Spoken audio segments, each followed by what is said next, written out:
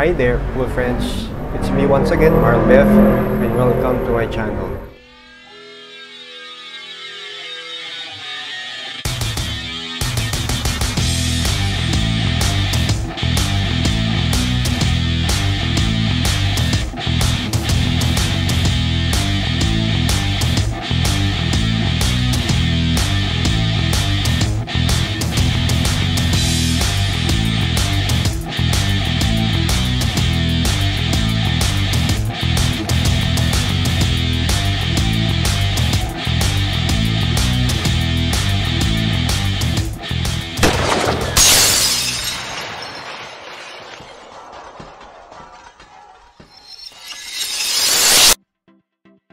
For today's video, ang pag-uusapan po natin ay part 2 ng aking ano ang laman ng isang beginner's Q case. So, today, uh, ilan po sa subscribers ay nag-request na kung maaari po ay, ay maging tagalize yung mga susunod nating video. So, uh, as per request, uh, siguro po mas okay kung taglish at yung mga susunod na lessons po natin na sabay-sabay natin pag-aaral ay Taglish na po. Para daw po mas maraming makaintindi. Okay? Uh, well noted yan mga sirs. So, ngayon, uh, gawin natin Taglish ang ating video. So, ano po ang laman ng aking uh, Q case? So, this is part 2. Kung makikita nyo po sa channel, may part 1. Pero that's, uh, that's a brief uh, video. So, to start with, I would like to introduce again the Daruma Q case. This is a uh, semi-soft Q case. This is the version of Daruma. So, Predator Urbane has its own version and Conlien, Conlien casing has also its very same version. So, parehas na parehas po yan. So, may mga subscribers po na nagtanong, so, ano ang laman ng aking Q case? So, ang Q case na ito ay it's, it's a 7-hole Q case. 7-hole Q case, kasya dito ang uh, kasya dito ang apat na shaft, tatlong bat. Although may isa pa ako dito, uh, yung brake cue ko dito sa loob, isang shaft. So lumalabas limang shaft, apat na bats ang kayang ilaman nito. So to start with, dito muna tayo sa third layer. So may third layer siya, ang luwag din ito. So marami din pwedeng ilaman dito. Yan. Yan. So by history, I'll start with my first cue. So this is my first cue. Yan. So nung nag-uumpisa po kasi, uh, akala ko uh, okay na yung uh, isang ordinary cue. So sabi ko nga po, bakit naman yung sila Efren sila Amang Parika, yung mga dati nating billiard players, wala namang low deflection, low deflection technology, ay ang, ang gagaling nilang magbilyar at uh, nagcha-champion sila. So there's no need to buy technology cues. So ito po ang una kong nabili. I think it's a Taiwan-made cue na okay naman siya for beginner. I started August 2022 nung naglaro ako. So napag-isipan kong uh, gawin tong hobby dahil pag nagkakaedad na po ay medyo sumasakit na ang buto-buto. So hindi na tayo pwede sa mga physical sports like basketball, ayan, mga ganyan, mga volleyball. So ito na lang, billiard na lang. Although may, may meron naman tong uh, uh, health benefits kasi ikot ka ng ikot sa table, lakad ka ng lakad, meron din mental uh, exercise to kasi isipin mo kung paano mo titirahin, saan ka mag-end up uh, yung, yung cue ball mo, yan ang diskarte mo. So, ito yung napili ko. So, ito yung una kong uh, cue stick. Uh, kaya lang, nung nagpo-progress na ako, gumag medyo modestly, gumagaling na ng konti, nagle-level up na yung game. So, ginawa ko na lang siyang uh, break cue. So, ito ang aking break cue. So, ang ganda ng ano niya, ang maple niya, it's a Taiwan made. I ordered it from Cebu. This is my first view. And then, nung medyo gumaling na, I bought a Pampanga. So, my wife he gave me a gift. This is a Pampanga Q. Okay. Yan. Ito ay upgraded na into uh, snake skin. Snake skin siya. Yan. Okay naman siya. Nagagamit ko siya ng maayos. Kaya lang medyo may kalambutan yung kanyang ah, shaft. Not all Pampanga naman ay malambot ang, ang, ano, ang shaft. Siguro personal experience ko lang. Yan. So, ang nakakabit dito tip ay a braided na Muri. Muri medium tip. Ang nakakabit dito sa Pampanga Kyoko. So, is uh, nag-retire na yung aking third Q. It's an M- MIT Q 13mm kaboy tip. So, nag-retire na siya. So, meron akong dalawa dito pa. This is a P20. Yan. It's a P20 Perry. I'll give a review on this also pag may panahon. Ito ang kanyang bat. It's a P20 Baron. Yan.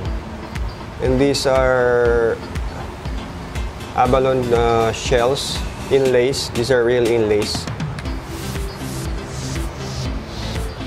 Very siya. Ito yung kanyang ano.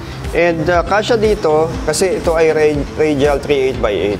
So kasya po dito yung uh, 314 Predator. So this is the this is the Predator 314 shop. 10 splice shop. So magkaka-review din po ako dito kasi this is my 314 revitalized. Sabi ko revitalized kasi ah, kumbaga sa kotse ito po ay ah, na-overhaul, na hilamusa, naayos. This is a triangle tip.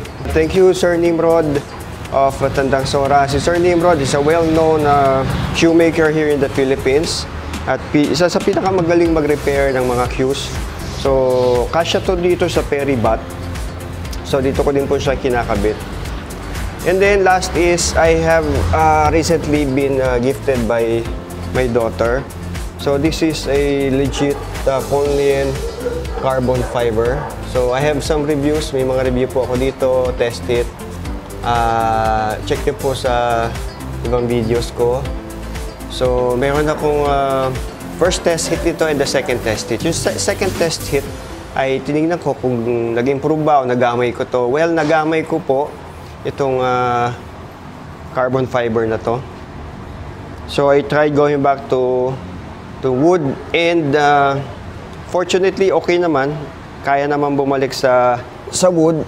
Yun nga lang dapat ang iyong ah, dapat ang iyong ah, butt and the weight is almost the same as yung kung ano yung ginagamit mo. This is a 19 oz Q together with the the the shaft So please check yung ibang video ko on the review on this uh, carbon fiber. So ano pa ang laman ng Q case ko? So syempre hindi mawawala dyan yung mga ito, anik-anik. So meron akong basahan dito. Yan, basahan.